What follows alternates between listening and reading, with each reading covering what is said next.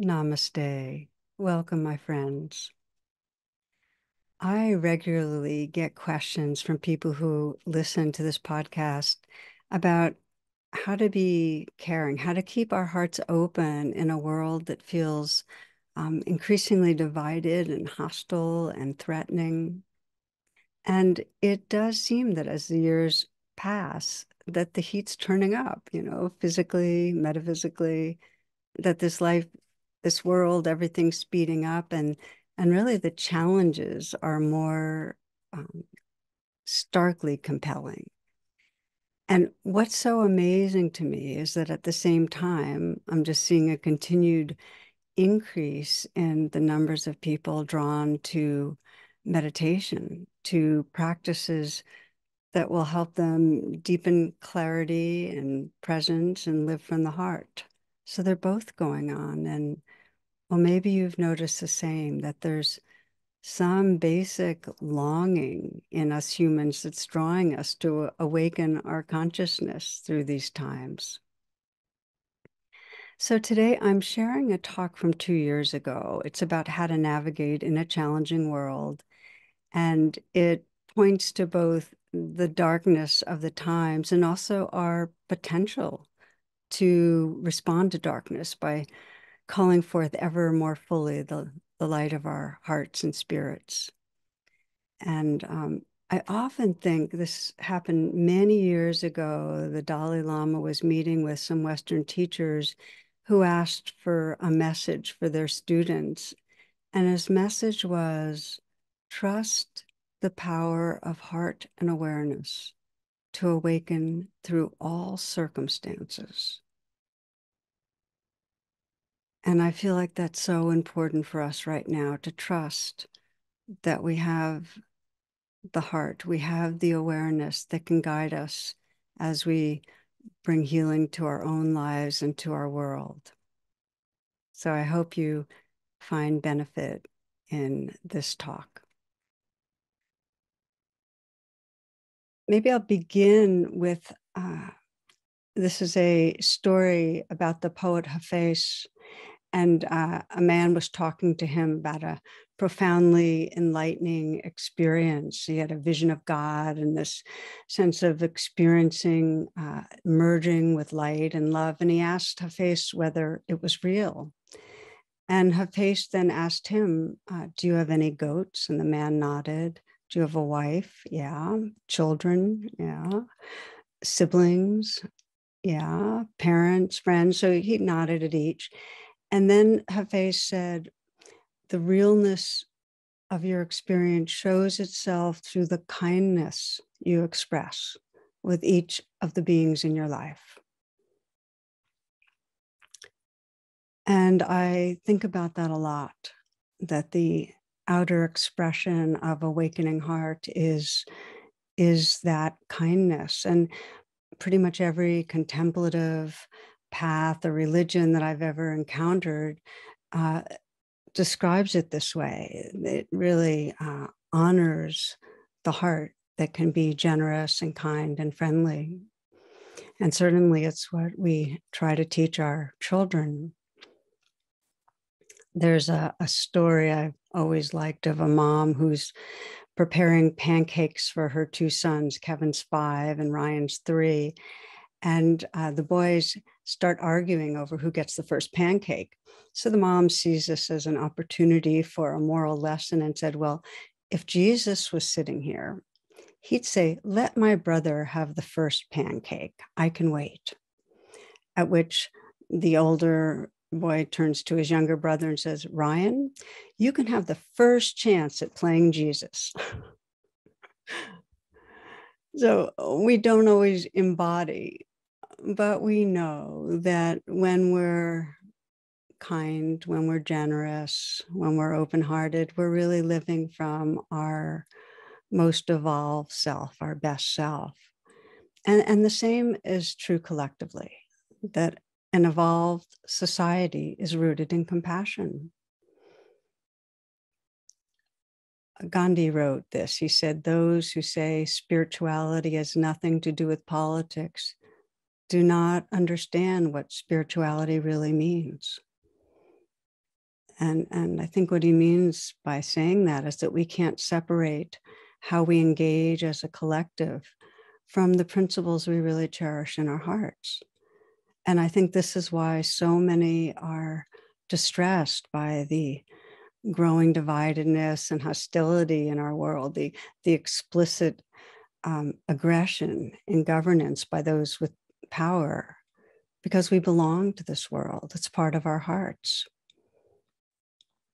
So I've been hearing uh, from a number of people in response to events in the past few weeks with uh, expressions of distress and despair and grief and fear and anger and of course i can i can feel my own distress and the big question many wonder about is how can our spiritual path how can our practices guide us in relating to what feels to many like a descent into the dark ages um, particularly here in the United States. Of course, it's global, but it's acute here recently with the Supreme Court rolling back uh, women's rights, allowing handguns in public, blocking the capacity of uh, government to meet our climate goals, and more, and all against the will of the majority. And so there's this sense of this uh, deep backslide.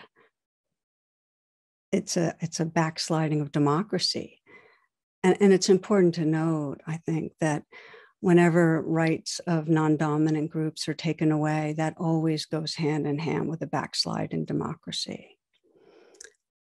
So in these in these last weeks, I do keep thinking of Gandhi, who really dedicated his life to freedom, inner freedom and outer freedom. And he asked, he was asked by someone, "What do you think of Western civilization?" And his response was, "It would be a good idea." So, friends, today's reflection how in our personal and collective lives can we meet the darkness, the suffering that's here in a way that uh, brings healing and freedom? And to start by saying that it's one of our major human delusions, and it's happened through different times of history, that this is how it is. We're at the kind of end chapter and it's bad news and it's a descent into chaos, a never returning descent into chaos and catastrophe. So we tend to fixate on the current and in times in a narrow way and forget the past, the distant past, the future, the distant future. So we might forget right now how our worlds seem during catastrophes like Black Plague or depression or the two world wars. You know, we might forget that our ancestors survived and adapted through unbelievably harsh circumstances, many through slavery, through pogroms, and more. And we forget the amazing resilience of life. Uh, we forget that the trajectory of our human evolution, and albeit it's in fits and starts, has been towards decreasing violence, towards more collaboration. And we also forget how stress, the really big stressors, actually can bring forward untapped creativity and intelligence that our, our descendants can continue to adapt in ways that we can't even imagine. So I say this because we need a larger view. Um, we need to sense the, the vastness and mystery we belong to. You know, I often think that this is a universe that, according to science, sprung forth from a singularity, a single concentrated point. Okay, and it's still expanding. And where did that point come from?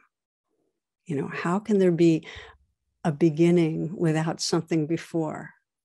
You know, what's before? And is this all a beginningless, endless experience? The mind can't grasp it. Within this mystery, there's the mystery of love. You know, what is it? Of awareness, you know, of poetry, of beauty, of acts of kindness and compassion. Cosmetologist Brian Swimme put it this way he said, The earth was once molten rock, and now it can sing opera. So we need a wide view. And we need to be able to arrive again and again in just this moment, in the sounds that are right here, in the fragrance, the smells, the sensations, the breath. You know, we be, need to be able to shift from our thoughts about the world into this living world, this presence and mystery that are flowing right now through us. A, a friend was given a wristwatch. Uh, something that someone had gotten at one of the Thich Nhat Hanh retreats in Plum Village. And at the center of the watch, there's the word it.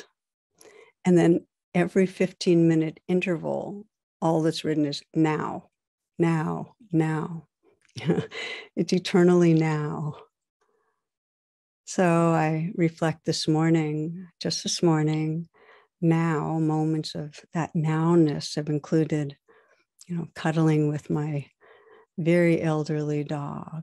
And of course, I'm appreciating moments with her because she is so elderly, her, the softness of her fur, and she smells good and she's warm. And then, uh, you know, the taste of my protein drink, which I really love. It's thick and satisfying, and meditating and listening to the sounds of the wrens and the cardinals and the crows, and feeling the movement of the breath, just quietness. So, moments of now. And then there have already been moments of taking in the news and feeling alarm, feeling that kind of sinking feeling, the bad othering, the distress. So, daily, it's like this there's pleasant and there's unpleasant. And with the painful emotions, depending on the quality of presence, they either unfold into deeper presence and a quality of tenderness, of that kindness that Hafez pointed to, or I get stuck for a while. And this is what I want to explore together. You know, how we free ourselves when we start really sinking and we get stuck and we lose access to that wider view and we lose access to the kindness of our hearts and to some clarity. And the image and the teachings that inspire me, um, this comes from the Tibetan tradition. And you can see it in the artwork and the mandalas at the entrance of temples. It's images of these animal headed gods and goddesses. We'll call them the shadow deities and they guard the entrance to sacred space. And so these are the energies of anger and wrath and revenge and fear and hatred and delusion. And the wisdom that is expressed through this is only by meeting the deities with full awareness, with presence, with compassion, do we arrive in sacred space it's not because the deities aren't there, it's a given in life that they're there. And not only that, they're not bad. In other words, what we call the shadow or darkness or, uh, you know, the animal headed goddesses, they're not bad. Uh, they're primitive expressions of universal energies that are rigged in every nervous system. They're part of survival. And yet they're confused they're not in their fully evolved state. So they're confused because they're filtered by a perception of separation. It's like when we feel like we're a separate entity, that's what our nervous system presents.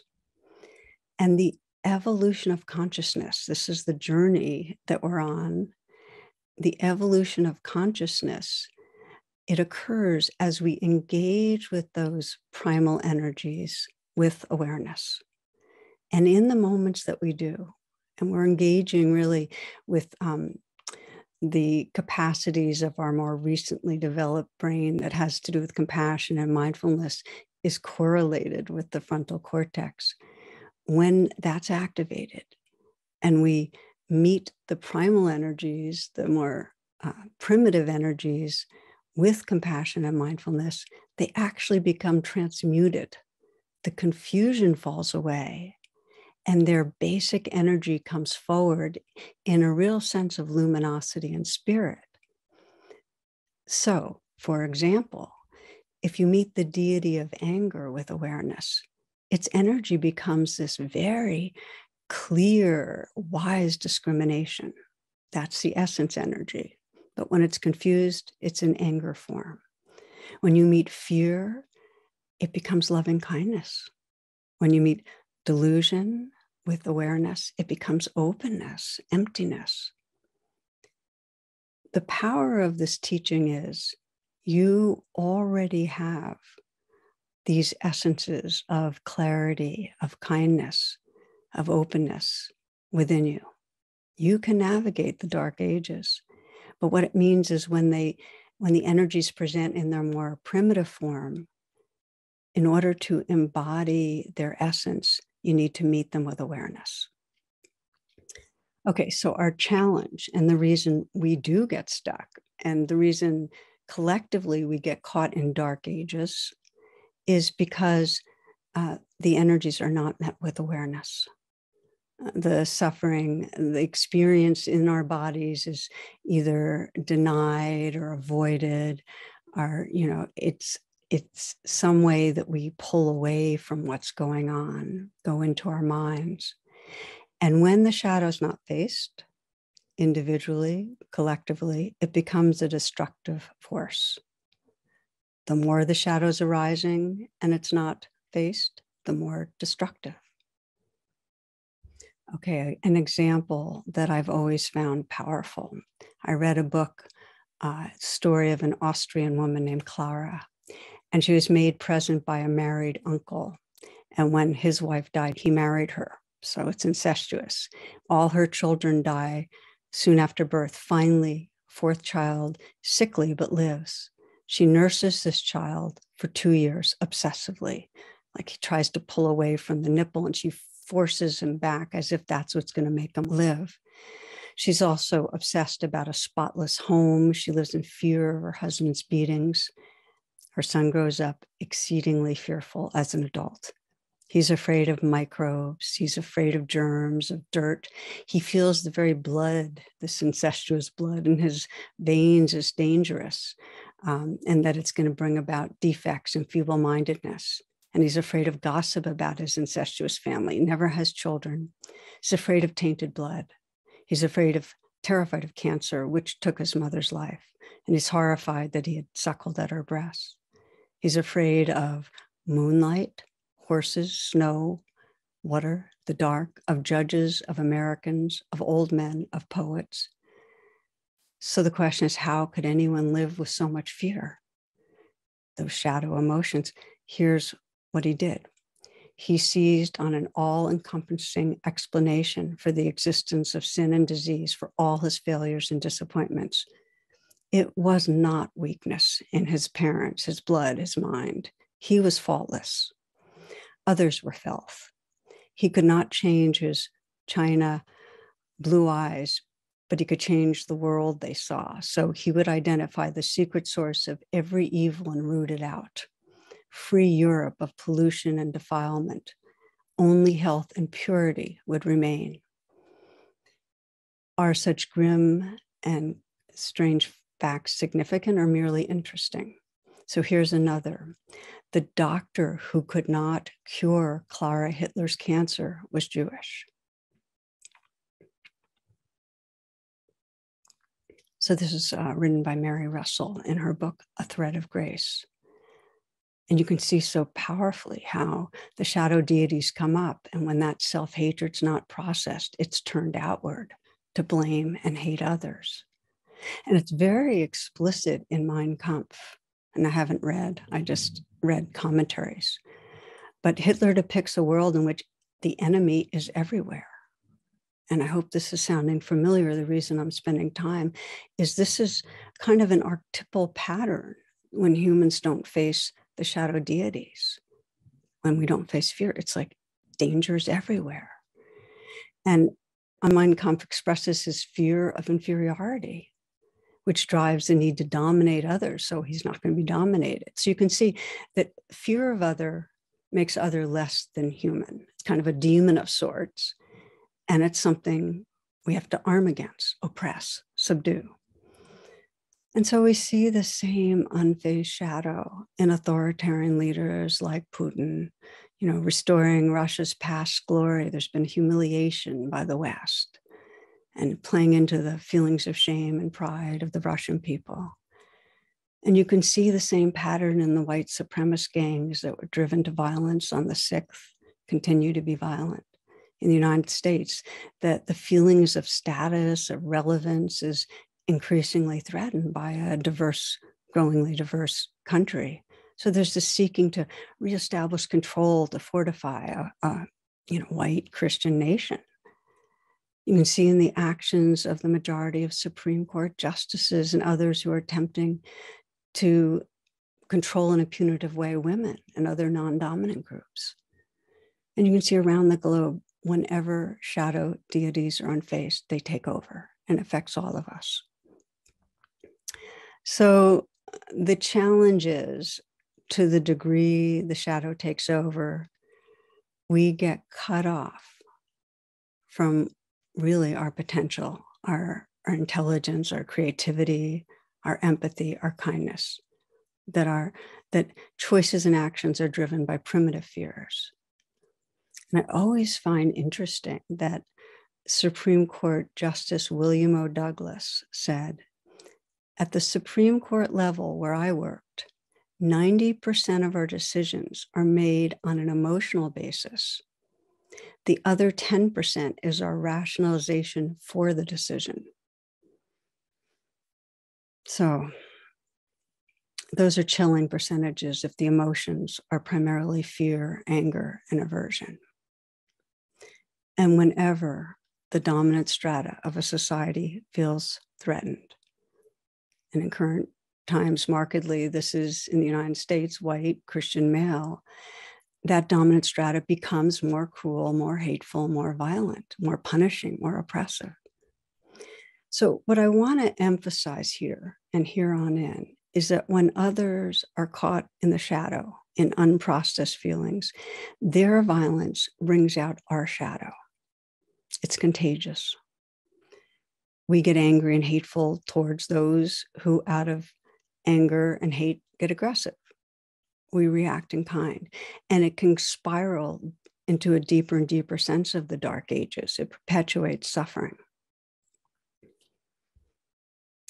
So, on a lighter side, one of the Gary Larson cartoons I clipped years back, this back in the days when people clip things, it has two women behind the locked door and they're peeping through the window at a monster on the doorstep.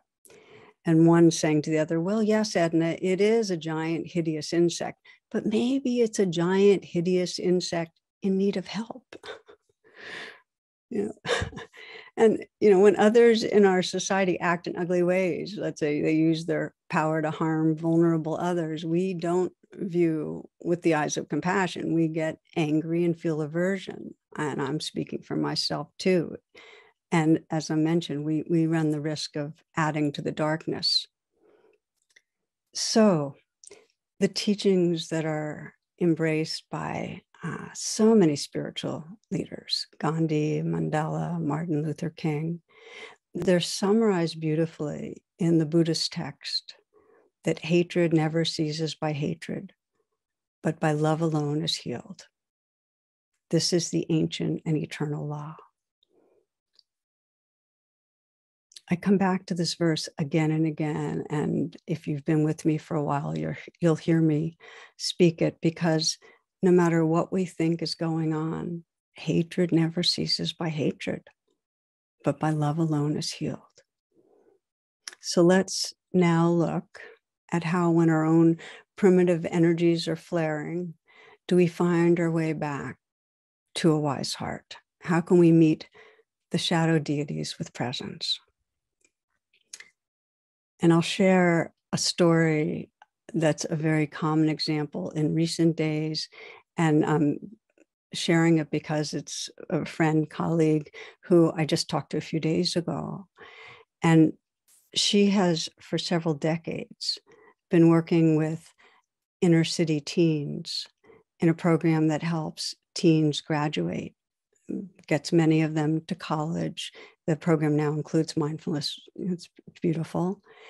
And she stayed in very close touch because she was very close with, with several of the teens. One of them that she was telling me about the day before yesterday uh, is now an attorney. She she went to college. She's a public defender. She's married. She has two children. Well, this young woman, when she was in the program, was raped at age 15. And as you can imagine, her life would have been entirely different if she had had her child, um, she, which she didn't. And my friend could have told me more stories, and you know about them. You know about them. And so my friend, as she was talking to me, saying, you know, she's struggling with the feelings of hatred and anger uh, at the Supreme Court justices, uh, the majority, and those in power in the states that are clamping down on women's rights. It's just the punitive quality of it, um, turning the most vulnerable in our society into criminals. And so we we were on Zoom, and I guided her. We decided we'd do a practice, you know, which is really how to meet the shadow deities. And so she got in touch with what was there and named it, you know, anger, hatred. That's the beginning of mindfulness to name it and then to allow it to be there. You know this from RAIN, recognize and allow it to be there, not to make it wrong. This is part of the waves in the ocean. And then to really feel it, to investigate by feeling where it lives in the body, the heat, the pressure, just offering that gentle presence. Yep, you can be here, you can be here. I invited her to let it be as big as it wanted to be. Sometimes with anger, I'll say, let it rip, you know, and it's not the thoughts, but the feelings. That's what's key. And that anger and the rage in her was just felt a huge space.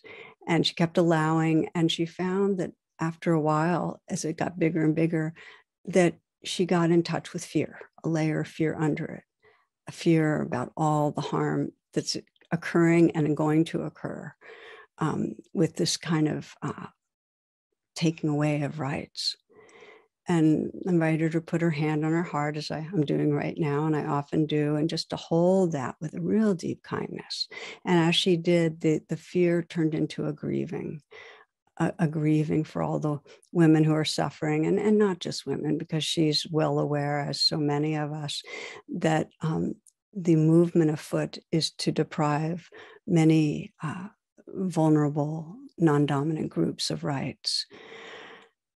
Just sensing her caring for all the vulnerable people that are, are being oppressed. And, and then just invited her after offering that kindness to the, the feelings and inner to just rest in that. In other words, to rest and be that tender, caring space let that be home you know and she was resting in that and and just the power of moving from being an angry person that was her sense of herself to resting in this tender open presence that could include the currents of anger but wasn't defined by them.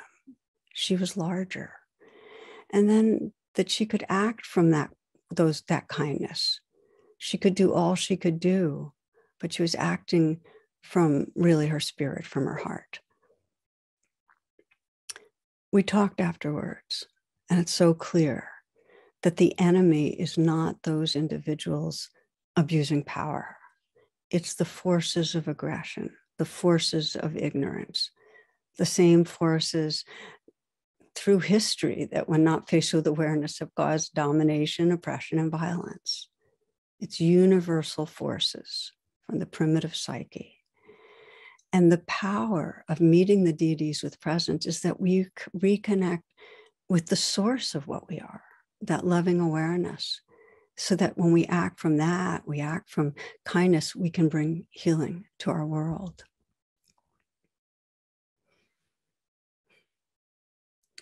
Many of you probably have heard of Gary Snyder. He's a poet and environmental activist for over 50 years. And uh, a good friend of mine, another Dharma teacher, uh, Wes Nisker, interviewed him and asked him if he had any advice for us. You know, and this was about the degradation of the earth.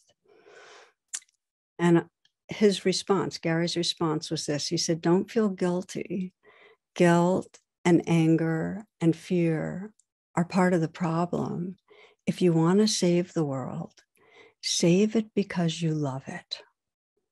Save it because you love it. Friends, love is the only power that's great enough to overcome greed and anger and violence and fear. Martin Luther King called love our soul force, that this is the force that can transform the world. And, you know, as you're listening and reflecting, you might well resonate with this that love and compassion are the way. And also wonder how it's realistic in a world where others are acting so hurtfully. And so I just want to speak to that a bit because it's a really natural inquiry. And it's helpful to know that love and compassion are not weak, uh, they have many facets. And I think that there's, there's an expression uh, coined by Joan Halifax, wonderful Dharma teacher. Just we need a strong back and a soft front. And they're both expressions of love.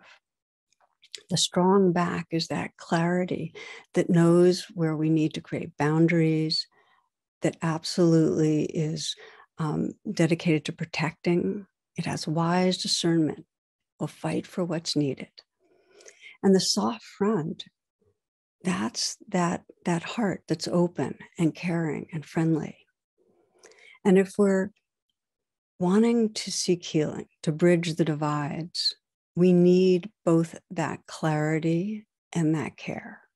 In other words, we need to speak our truths. We need to keep distances at time to protect ourselves. We need to have agreements and rules. And for there to be healing, we need to have our hearts available, not blaming, seeking to understand. We need a friendly heart.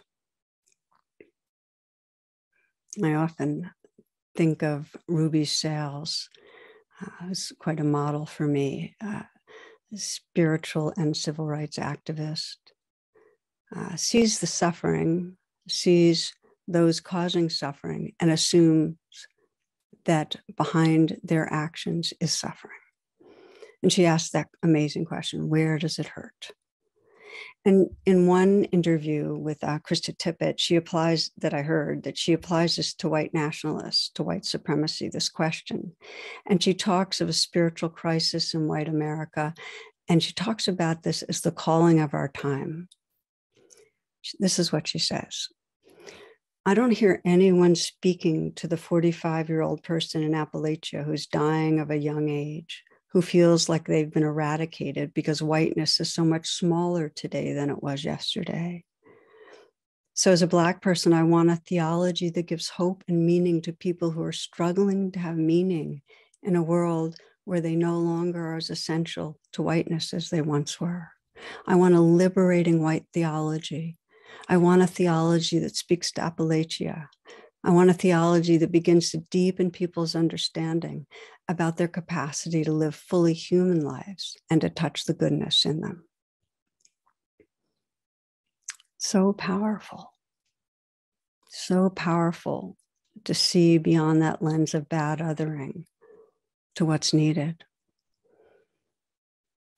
I read a story about a former white supremacist, uh, Derek Black. He was the, the white power heir apparent to David Duke. That he, David Duke was his godfather. And, and Derek believed that white people were being oppressed in their own country, as many do. He didn't consider his beliefs as racist or hateful, more that his group was trying to preserve our own, as he said. In other words, he was living in the spiritual crisis of white America. So while Derek was at college in Florida, he was outed for being a white nationalist, and many, many students ostracized him. After that happened, as he was being ostracized, uh, one student, Matthew Stevenson, who was an Orthodox Jew, invited him to Shabbat dinner. And as Matthew described it, he was very clear in his own mind that it would not help anything by attacking Derek. So he saw himself as a potential bridge person. Okay, so Derek accepted the invitation, and over time he became a regular at this dinner. This went on for over two years. And initially, they both avoided talking about Derek's activism. Instead, they, they actually just went about establishing a friendship. They talked about other things, including religion, which they were both interested in.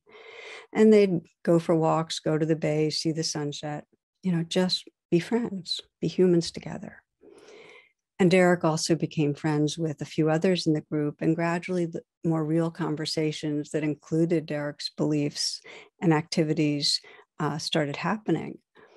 And, uh, you know, people in the Shabbat group, a few of them would say, you know, I want to understand this, your beliefs. And they'd walk and they'd listen.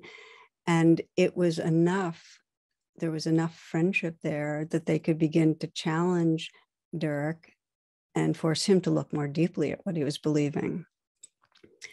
And by way of example, one woman in the Shabbat group asked Derek if she could attend one of his seminars. And so she sat there listening to him denying the Holocaust and him blaming Jewish conspiracy for threatening the position of whites. And she was able to say to him afterwards, This is hate. I'm Jewish. This is hate. And because of the foundation of friendship, because there had been such kindness, he started reassessing his beliefs and he was left with the fact, and this is how he put it. He said, I can be friends with Jewish students and with people of color, but my belief system says they should all be removed from the United States. And that didn't work anymore because they had connected. So over time, those in the Shabbat group were very clear. They were strong in their moral outrage. You know, they had that strong back. They, they never pretended otherwise. And because they had established the kindness in their friendship, the soft front, uh, there was a container for that honesty. And the reason I share this is because there's no way to bridge differences unless there's a foundation of trust, of kindness. Otherwise, defenses will block. As it turned out, uh, this whole experience for Derek led to writing a public letter disavowing his beliefs. Um, and, and since then, he's been engaging in studies aiming at understanding the roots of white supremacy and in activism that serves healing the teaching for me is that the evolution of consciousness does not happen because we beat an enemy. It can't happen. It happens when there's a, a bridging of a divide, a movement towards connection, collaboration, understanding, care. Strong back, soft front. So we started. How do we draw on a spiritual path when we're relating a descent into the dark ages. And we know it's so easy to default and meet what's going on with our own anger, our own hatred. And Hafez reminds us that our spirit expresses through kindness. All the great spiritual leaders call on us to awaken our hearts. Um, Ruby Sales again, she talks about the Black spirituals that guided her. She says, I'm going to lay down my sword and shield down by the riverside, down by the riverside, and study war no more. She says it was not a retaliatory religion. It was a religion predicated on right relations and love and nonviolence. So, my friends, what our world most needs is our presence, you know, needs us to have that wide view, needs us to be able to come right into the present moment. And it needs us to be able to meet whatever the shadow deities are that are arising with real courage, real clarity, real presence. And we need to act from that awakening heart. You know, I, I often think, and I see it in my own life, that if there's despair, acting is the antidote. We need to act. And it doesn't have to be, you know, super visible, heroic activism. It's really whatever fits our life. Voting for sure, talking to friends, and talking and bridging with those more of difference. Of course, there's joining local organizations, writing letters, in whatever way, contributing your time, your money, your heart to helping the world. That's part of what being whole is. It's engaged spirituality. And we can't navigate the dark ages alone. And this is the note I want to end on. We really can't. I was just with some friends talking last night, and just being with others and naming the truth of what we're feeling, it ends up creating a heart space that's large enough to hold what's going on. We need to connect. I was uh, recently, I was traveling and I was in the redwoods in California, you know, these massive trees, and they have very shallow roots. And what allows them to survive the winds and so on is that the root systems are completely interwoven, they hold each other up. And we need to do the same with each other. This is a poem I really love from Naomi Shihab Nye. It's called Shoulders. A man crosses the street in rain, stepping gently, looking two times north and south because his son is asleep on his shoulder. No car must splash him, no car drive too near to a shadow. This man carries the world's most sensitive cargo, but he's not marked. Nowhere does his jacket say fragile, handle with care. His ear fills up with breathing. He hears the hum of a boy's dream deep inside him. We're not going to be able to live in this world if we're not willing to do what he's doing with one another. The road will only be wide. The rain will never stop falling.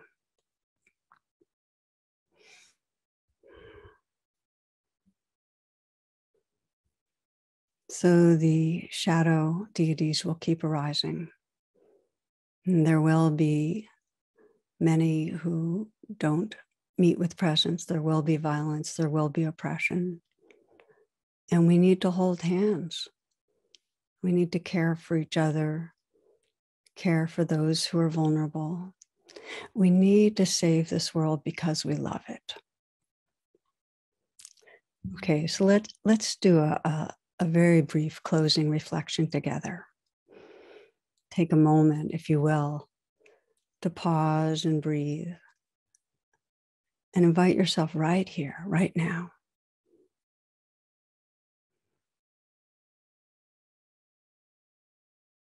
Feel your breath, feel your body breathing. Let your senses be awake so you hear the sounds around you, let them wash through.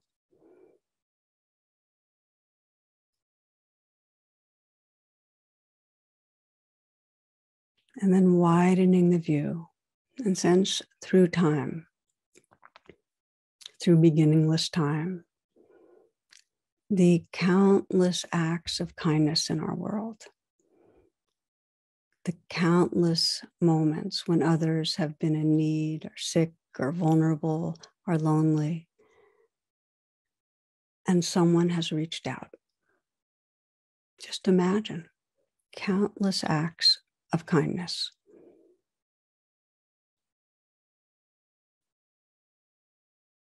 The kindnesses that are going on today. Also, imagine how many are feeling awe at beauty. How many are touched by the sorrow of loss? How many feel that love of goodness?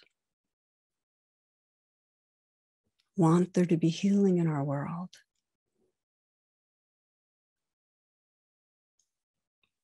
Taking these moments to feel our shared heart, knowing that the shadow deities will naturally arise, and just to sense our collective calling to meet them with presence, to transform them into their essence of love and wisdom.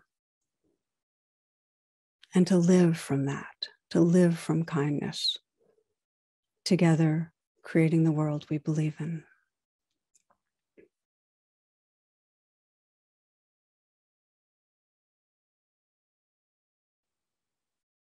Namaste, friends. Thank you for your presence. I send you all love, all blessings.